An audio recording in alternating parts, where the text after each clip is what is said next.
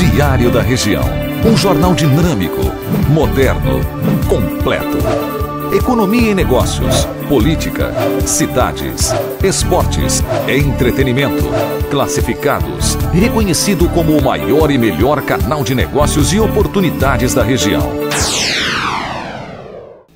Confira na edição desta quinta-feira, dia 24 de março, no Diário da Região. Em política, vereadores criticam compra de carro de luxo. Na editoria de economia, grupo chinês investe 45 milhões de reais em terminal para escoamento de açúcar. Em cidades, casal gay vai à justiça para registrar união em cartório. Menino tem traumatismo craniano após bater com bicicleta em moto. E polícia faz apreensão de 100 quilos de maconha no bairro Solo Sagrado.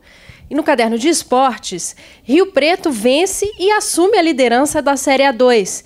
E confira os resultados dos jogos pelo Paulistão.